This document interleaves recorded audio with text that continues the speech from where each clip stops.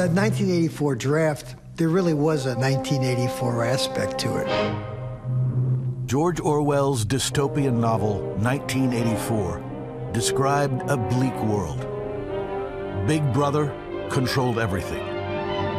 Orwell's central character, Winston Smith, dared to question Big Brother's power. The NFL really was kind of a Big Brother figure, and, uh, you know, was just this all encompassing sports power.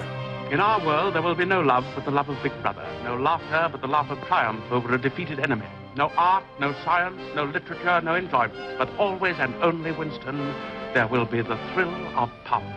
And, you know, here comes the USFL after the NFL had been unchallenged for nearly two decades and was, you know, trying to move in on its territory.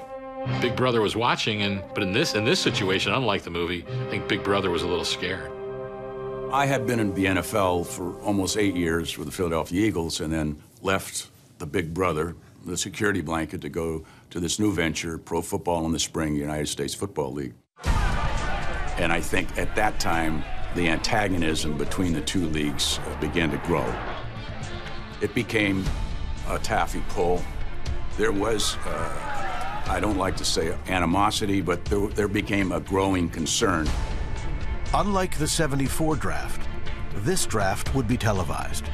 What viewers couldn't see, however, was the behind-the-scenes war for players between the rival leagues leading up to the 84 draft. We're fighting for players, and players are the very essence of professional football. If we didn't have them, we would be off Broadway. We want to be on Broadway. They were going to have their draft in January and play in May and the NFL didn't have the draft until May. So you could get you could be drafted by the USFL, signed and gone before you ever had a chance to be drafted by the NFL. They were really trying to compete. They were really throwing around a lot of money. A lot of guys were saying, "Hey, yeah, uh, I'll do it." In 1984, Maryland quarterback Boomer Esiason was caught dead center in the war between the two leagues. I told Big Brother that I didn't want to play for the USFL, that I always wanted and envisioned myself as an NFL Big Brother quarterback, if you will. And my agent lambasting me for saying, Don't say that, don't say that, we need leverage. And I kept saying to him, I don't want to play in the USFL, I want to play in the NFL. But many others did. Stars like Jim Kelly and Herschel Walker had already bolted to the USFL.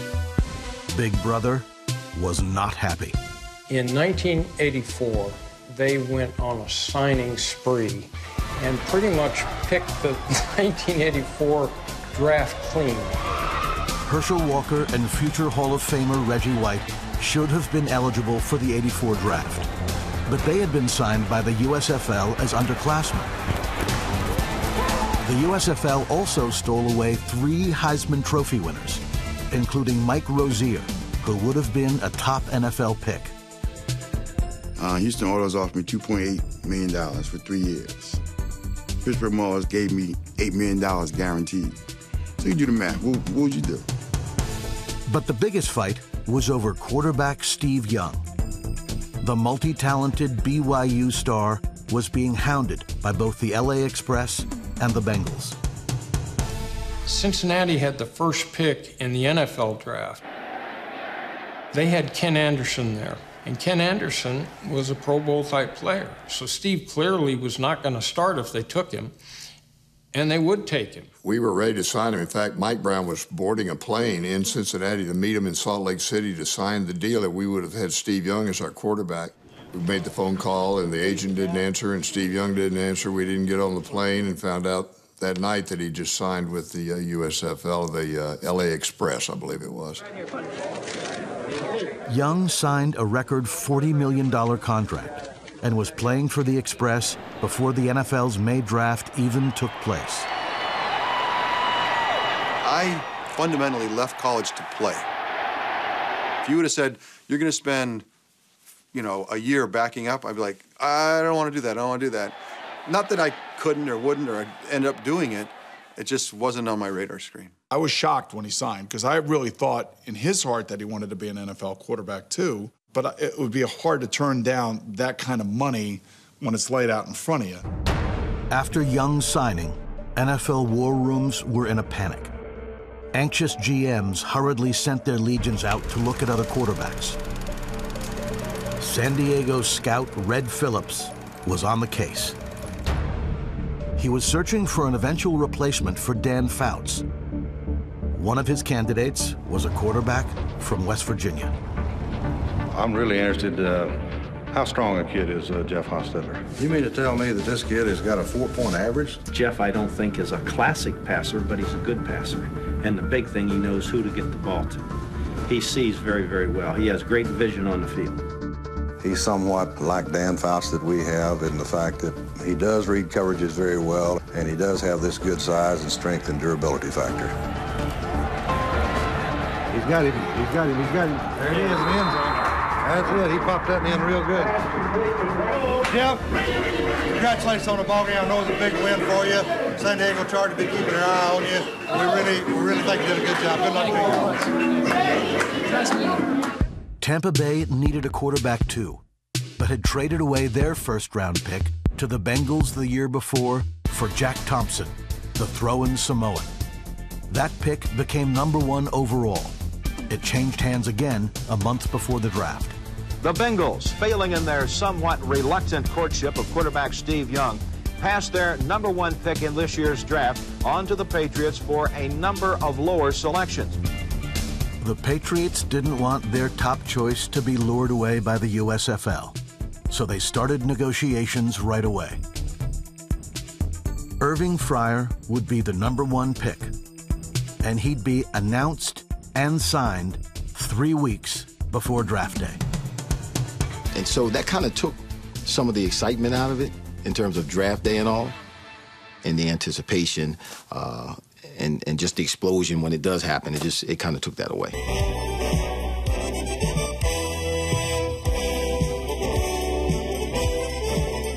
1984 was just the fifth year the NFL draft was available to television viewers. With much of the top talent gone to the USFL, it was not must-see TV. Steve Young was among the departed, leaving Maryland's Boomer Esiason as the draft's top-rated quarterback. Like Orwell's Poor Winston, Boomer was watched closely. Lost and confused, he wondered where his future would be. I did not have a party, didn't have a lot of people around me. We all were expecting a phone call, you know, before noon that afternoon saying that I was going to be the next quarterback or drafted by the, this team, that team, or whatever. Pre-draft buzz had the Giants possibly taking him at number three overall to replace injury-prone Phil Simms. Or perhaps the fourth pick, where Philadelphia might take an heir apparent for Ron Jaworski. If he lasted to number seven, the Bengals looking for a young quarterback for new coach Sam Wyche seemed like a good fit. There was one place he would not end up. Right around that spring, the team that I probably should have been the quarterback for loaded up the Mayflower moving vans and moved out of Baltimore and went to Indianapolis. And Boomer Esiason, loyal Terp that he was, said, I don't care if they draft me, I'm never going to step foot on the field for the Indianapolis Colts. For the outspoken lefty, the drama was just beginning. For the top two picks, there was very little drama. Now, this is dramatic. All right, the Patriots select Irving Fryar, wide receiver in Nebraska, first pick in the, in the first round. There was no surprise in that first draft. Billy Sullivan stepping up and making it clear from the beginning that not only is Irving Fryar their selectee, but in addition, he is already signed, sealed, and delivered. Irving Fryar was the NFL's top pick only after he spurned the USFL. I remember sitting in uh, Donald Trump's office in New York, Trump Tower. They wouldn't guarantee my contract, so I told them no. And I'm like, you got all this money, man. You can't guarantee my contract. What's up? Had to be a good negotiating position for you because obviously two leagues were bidding for your services. Oh yeah, not not only that, but a lot of guys are going to the USFL. So um, you know the NFL wanted to keep a lot of quality athletes in the draft. He had a good, solid NFL career, but that just spoke to the overall lack of depth in the draft that he would be taken first overall. Irving Fryar has certainly uh, been the top pick for several days since that April 4th trade. Now Houston is up and Steinkuhler is signed and sealed and delivered. Let's now uh, hear their pick. Another Nebraskan. Guard, offensive guard, Dean Steinkuhler, Nebraska. It is the first time since 1967 that the first two picks in an NFL draft to come from the same college. That's when Bubba Smith and Clinton Jones out of Michigan State went number one and number two.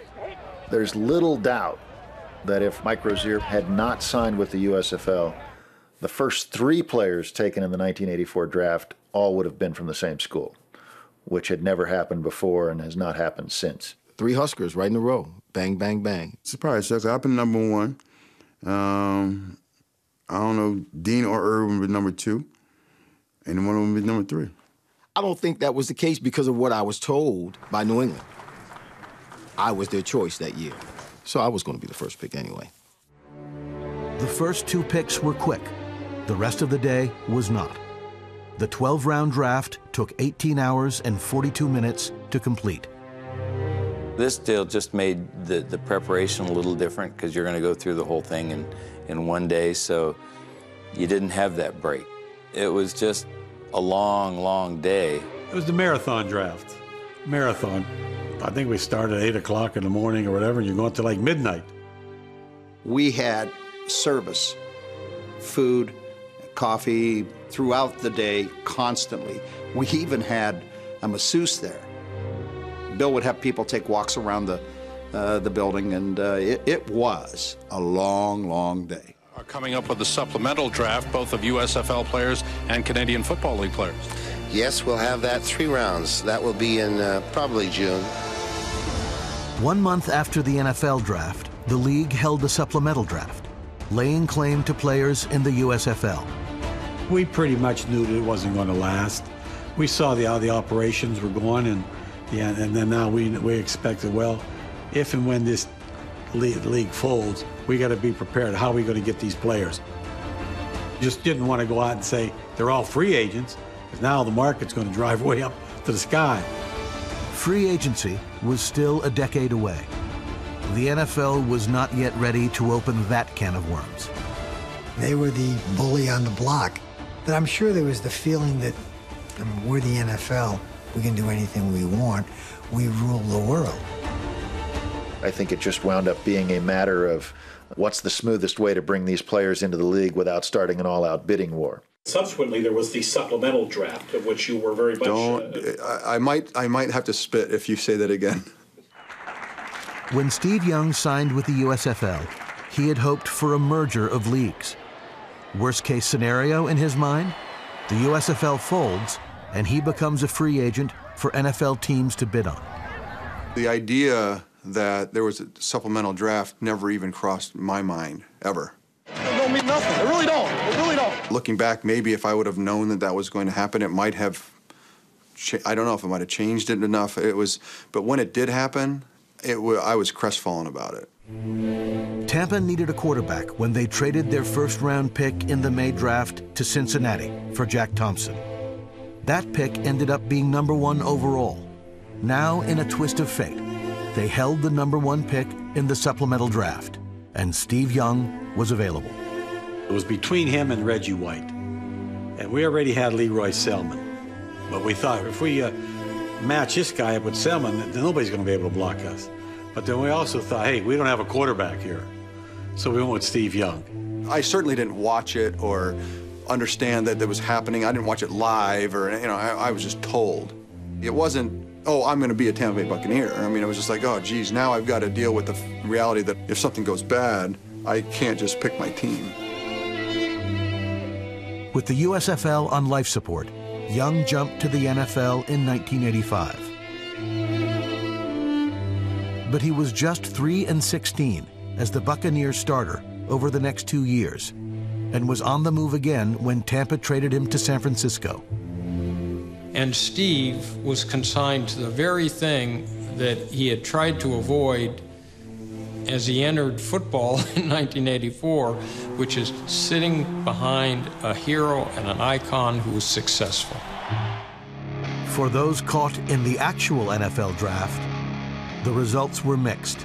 To summarize this, the 49th NFL player draft, it will not go down as one of the more memorable moments in sports. Former football stars in their neighborhood bar. There's one thing that kind of reminds me of this band, and that's the fact that, okay, just the 84 NFL draft. In that entire draft class, not a single member is in the Hall of Fame currently. And neither are we. And neither are we. but it's it's kind of like that little engine that could mentality. Because you look down that list and there are some great players. Ernest Byner is a good example. Guy just worked his tail off. Former football trading scores for children's.